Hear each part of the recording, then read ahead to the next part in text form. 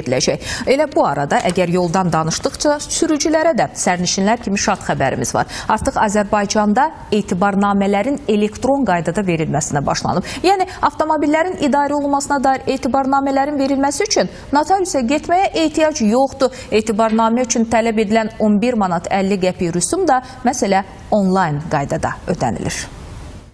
MyGov platforması üzərindən nəqliyyat vasitələrinin idarə olunmasına dair etibarnamələrin elektron rəsmiləşdirilməsi imkanı yaradılıb. Prosesi məkandan asılı olmayaraq həftənin bütün günləri 24 saat ərzində notariat ofisinə müraciət etmədən reallaşdırmaq mümkündür. mygov.az və yaxud da my.gov.az portalına daxil olmaqla vətəndaşlar gücləndirilmiş elektron imza, elektron imza eyni zamanda asan imza vasitəsilə bu etibarnaməni seçə bilirlər və etibarnaməni seçdikləri zaman artıq vətəndaşları onların adında olan, qeydiyyatda olan avtomobillərin siyahısı çıxır. Eyni zamanda etibarnamə əsasında onlara verilmiş avtomobillər, yəni bu avtomobilləri idarə etmək və daha sonra etibar olunacaq şəxs barəsində fin və sürücülük vəsiqəsinin nömrəsi daxil edilir və bundan sonra etibar etmə müddəti seçilir. Etibarnamənin yaradılması ilə bağlı müvafiq məlumatlar daxil edildikdən sonra vətəndaş asan ödəniş sistemi üzərindən 11 manat 50 qəpik ödəniş etməklə